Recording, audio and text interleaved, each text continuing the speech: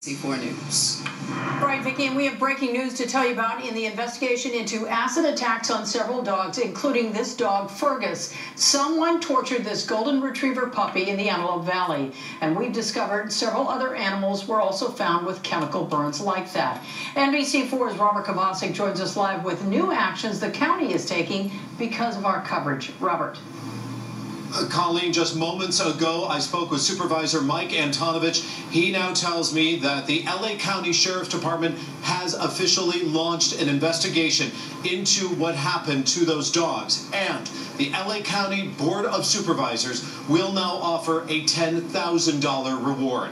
This all started on Tuesday when NBC4 told you for the first time about Fergus, a 15 month old stray golden retriever found outside a Lancaster Walmart and brought to the shelter there in Lancaster with what appears to be some type of caustic acid burn, possibly battery acid, poured down his back. And then yesterday, as the LA County Department of Animal Care and Control confirmed to NBC4 that three other dogs with similar wounds were brought to that shelter in the last few weeks, NBC4 viewers came forward as well to tell us about dogs that had been burned by acid in the very same way in the Antelope Valley, dating as far back as 2012.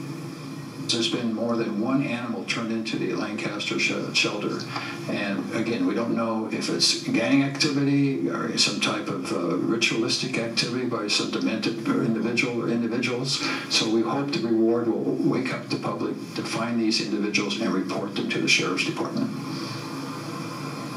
And now, for the first time, we show you the growing totals of the reward now being offered. You have $10,000 offered by the LA County Board of Supervisors at 2,500 from PETA, and then an NBC4 viewer, the very first to step forward on Tuesday night, offering a $2,000 reward, $14,500, and still growing. Chuck and Colleen, again, so many of our viewers wanting to adopt Fergus, that 15 month old golden retriever. I spoke spoke with Barbara Gale, the head of uh, the Golden Retriever Rescue of Southern California. She says they're about done with applications. They're over 250 right now. She says there may be one Fergus, but there are so many others, thousands of other four-legged friends looking for homes of course, lessons we learned from our Clear the Shelters campaign.